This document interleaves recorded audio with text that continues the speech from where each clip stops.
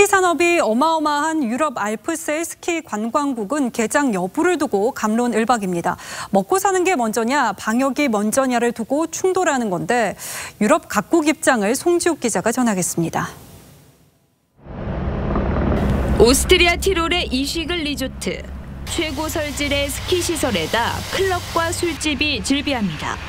11월부터 이듬해 5월까지 문을 엽니다. 이달 초 개장 이후 지난 17일 2차 봉쇄로 문을 닫기 전까지도 마스크를 쓴 스키 애호가들로 붐볐습니다. Maßnahmen, das Personal schaut gut im Hotel und äh, bei den Bahnen, dass eben äh, die Maskenpflicht eingehalten wird. Ja, man sieht, es ist nicht immer so angenehm. 정부가 크리스마스 성수기에 조건부 재개장을 하려고 하자 독일이 반대했습니다. 실제 지난 3월 이 리조트에서 시작한 코로나로 6천여 명이 집단 감염됐습니다.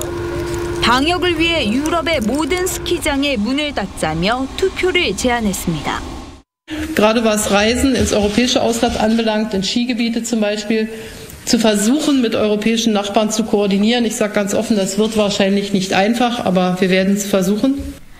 스키 산업이 GDP의 5%나 되는 오스트리아는 즉각 반발했습니다. 연간 52조 원의 수입과 일자리 23만 개를 포기할 수 없다는 겁니다.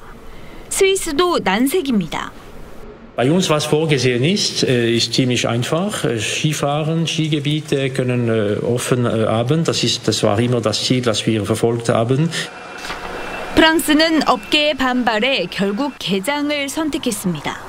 하지만 술집과 음식점은 문을 닫아야 하고 리프트 운행을 못하기 때문에 스키를 타려면 슬로프 꼭대기까지 걸어 올라가야 합니다. TV조선 송지욱입니다.